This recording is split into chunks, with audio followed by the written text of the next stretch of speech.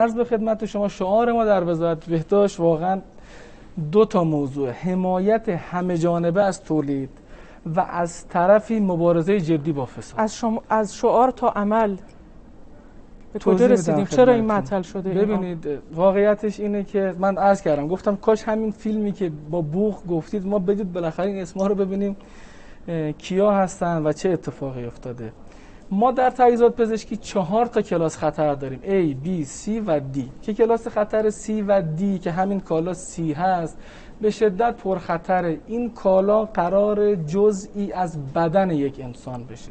بر اساس استانداردهای روز دنیا هم در واقع قرار تمام استانداردهاش رو پاس بشه. به این دلیل که قرار مردم ما مصرف بکنن. بالاخره مردم کشور ما قرار یک کالای با کیفیت رو مصرف بکنن. من باید توضیح بدم که ما در کشورمون الان دو تا تولید کننده ایمپلنت دندانی داریم. چهار تا پنج شرکت دیگه هم جز این دوتا الان دارن کارهای تولیدی رو انجام میدن که به زودی به پروانه تولید می‌رسن. من اگر سه خط آمار بگم ما در 97 ارزبریمون 3 ممیز 7 میلیارد دلار در دارو و تجهیزات بوده.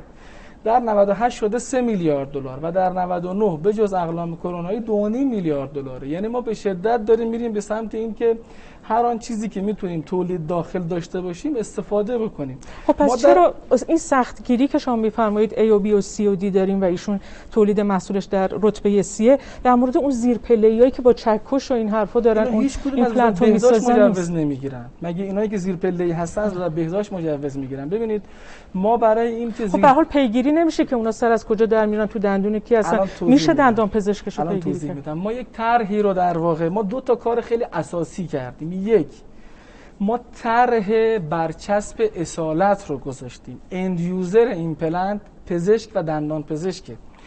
با برچسب اصالتی که داره از سامانه تیتک و از سامانه ما می‌تونه در واقع اصالت اون کالا رو رصد بکنه. بله. این یک.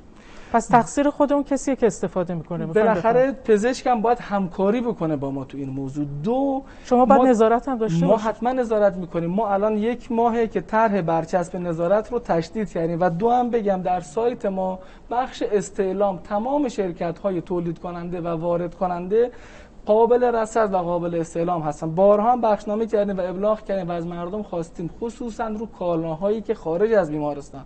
و بله. در کلینیک استفاده میشه مردم حتما رو برچسب اصالت حساس باشن از پزشکشون بخوان برچسب اصالت رو بهشون ارائه بده و بر اساس اون در واقع بتونن استفاده بکنن. خب خیلی